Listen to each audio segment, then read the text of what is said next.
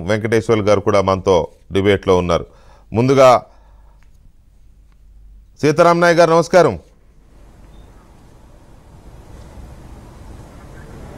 నమస్కారం సార్. సీతారాం నాయక్ గారు అక్బరుద్దీన్ ఓవైసీ మాట్లాడిన మాటలు. నో డౌట్ ఖండిస్తారు అందరూ ఖండిస్తారు. నో డౌట్ మీరు కూడా ఖండిస్తారు ఆ విషయం నాకు. ఎందుకంటే మీరు ఒక ప్రొఫెసర్గా చరిత్రకారులు మీరు. ఎంపీగా కూడా చేశారు.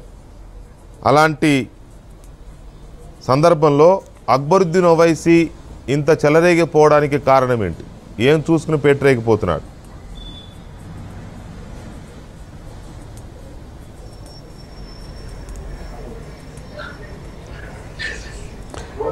ఇప్పుడు ఈ ఎన్నికలు జరిగేటి తెల హైదరాబాద్ రాష్ట్రం యొక్క అభివృద్ధి ఎంతవరకు జరిగింది ఏం జరగాలి?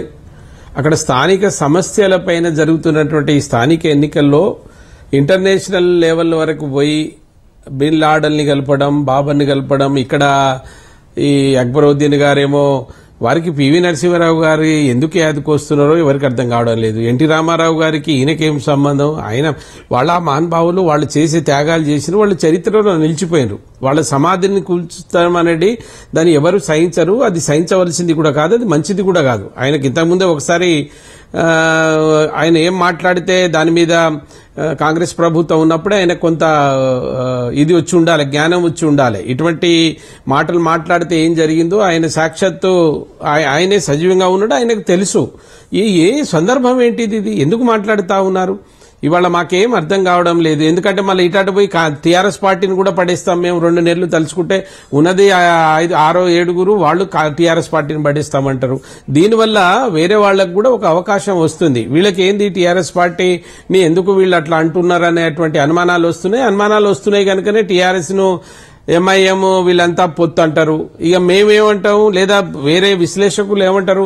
ఒకవేళ టీఆర్ఎస్ తెలంగాణలో ఉన్నటువంటి టీఆర్ఎస్ మొత్తం దేశం ఎట్లా పాకింది? దేశం అంతా ఎట్లా పోయింది? నిన్న బీహార్లో ఐదు సీట్లు ఎంఐఎం ఎట్లా గెలవగలిగింది అనేది ఇవన్నీ డిబేట్ అండి. కానీ వెంకటకృష్ణ గారు నేను ఒకటే నా రిక్వెస్ట్ ఏంటంటే ఇప్పుడు వాళ్ళు మాట్లాడుతున్నటువంటి మాటలకు ఎలక్షన్లకి ఏమైనా సంబంధం ఉందా? అది ప్రజలు గమనిస్తున్నారు కదా. దాని అభివృద్ధి హైదరాబాద్ అభివృద్ధి జరగలేదు ఆరేళ్ళలో అంటే చెప్పండి. ఇది జరగలేదు ఇది చేయండి అని. కరెక్ట్ హలో ఆ, అది మీరు చెప్పండి. ఇది ఇది జరగలేదు ఇది మీరు చేయలేదు అంటే దానికి సమాధానం చెప్తాం. చెప్పకుండా ప్రజలు చెప్తారు కదా. ప్రజలు హండ్రెడ్ పర్సెంట్ సమాధానం చెప్తున్నారు. ఆరు సంవత్సరాల నుంచి వాళ్ళు అనుభవిస్తున్నారు చూస్తున్నారు వరదలు చూసారు ఏదైనా వాళ్ళు చూస్తూనే ఉన్నారు. ఈ సర్జికల్ స్ట్రైక్ ఎక్కడైనా దేశంలో ఒక దేశంలో ఉన్నటువంటి పౌర సమాజం పైన సర్జికల్ స్ట్రైక్ జరుగుతుందండి. అసలు సర్- సర్జికల్ స్ట్రైక్ అంటే ఏంటిది? అది ఎక్కడ జరుగుతుంది? ఆయన ఒక మాట జారాడు గనుక దాన్ని మళ్ళీ ఇప్పుడు ఈ రోజు వరకు మోస్తా ఉన్నాడు. ఎందుకు మోస్తున్నాడు? ఏమున్నదంటే జరిగితే పొరపాటు జరిగింది లేదంటే మాట్లాడి అక్కడికి ఆపేయాలి. ప్రతి వాణిజ్య మీద సర్జికల్ స్ట్రైకే కాదండి. రోహింగ్యాలు ఉన్నారు పాకిస్తాన్లు ఉన్నారు వారు బహిష్కృతులా వాళ్ళు రెఫ్యూజీసా లేదా చొరబాటుదారులా.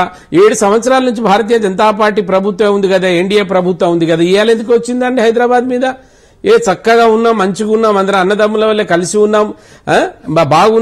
ఏంది అసలు కక్ష ఏందో నాకు అర్థం కావడం లేదు వీళ్ళ ఇద్దరి మధ్యలో ఈ ఎంఐఎంను బీజేపీ ఒకరిని ఒకరు టార్గెట్ చేసుకొని మధ్యలో టీఆర్ఎస్ను గుంజి అటు వాళ్ళు మీరు దానికి ఇదే బీటీఎం అని ఇటు వీళ్ళు వాళ్ళకు బీటీఎం అని ఇటు టీఆర్ఎస్ లాగేయడం జరుగుతూ ఉంది మేము ఒకటే అంటున్నాం అక్కడ ఉన్నటువంటి ఎన్నికలు నాకు తెలిసి ప్రజలు నిర్ధారిస్తారు. కోటి జనాభా ఉన్నారండి రాష్ట్రంలో. ఒకటి కాదు రెండు కాదు. హైదరాబాద్ అంటే మన లక్షల రెండు లక్షల జనాభా. మూడు లక్షల నలభై వేల ఉంటే దాంట్లో ఒక మూడో వంతు అంతా అక్కడే హైదరాబాద్లో ఉన్నారు నాలుగో వంతు. మరి అటువంటప్పుడు ఏం చేయాలి అనేది మాట్లాడకుండా ఎట్లు ఓట్లు రాబట్టే దాన్ని మాట్లాడకుండా ఈ ఈ మతపరమైనటువంటి ఘర్షణలు మతపరమైనటువంటి వాళ్ళని ఎవరు క్షమించరండి. పార్టీ నాయకునిగా అది వేరే విషయం. కానీ నేను ఘర్షణలు జరగలేదు జరిగాయన్నది నిర్వివాదాంశం. ఒక్క నైన్టీన్ నైన్టీలో కాంగ్రెస్ పార్టీ చెన్నారెడ్డి